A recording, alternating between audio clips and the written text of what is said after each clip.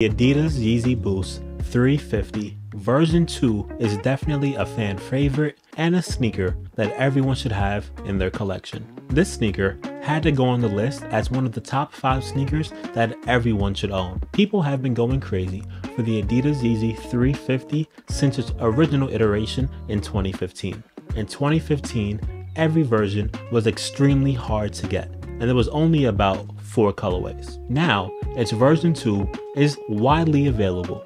If you want a pair, you can get your hands on a pair for a very decent price. There used to be releases like 3 to 4 times a month. The Yeezy brand is one of the most influential sneaker brands till this day, even with all the Kanye drama. If the Adidas 350 version 2 is still too basic for you at the moment, be sure to cop a pair and keep it on ice and then pull it out once you stop seeing the pairs circulating. You can definitely keep it stored until the hype dies and then pull it out at the right moment.